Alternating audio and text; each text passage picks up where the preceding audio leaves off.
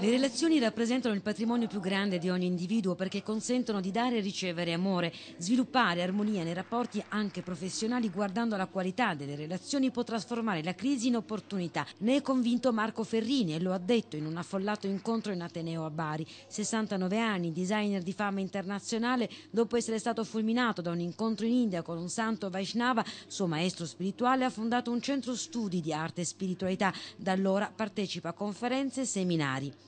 La conflittualità è uno dei distruttori delle famiglie, delle amicizie, delle aziende, dell'economia. Le persone quando sono armoniche, quando stanno bene, quando hanno una buona attitudine, una buona relazione con se stesse diventano molto più produttive, molto più intelligenti, molto più capaci di offrire il meglio di sé. Autore di saggi e libri su filosofia, psicologia, scienze e arte, parla da manager alle piccole e medie aziende in difficoltà.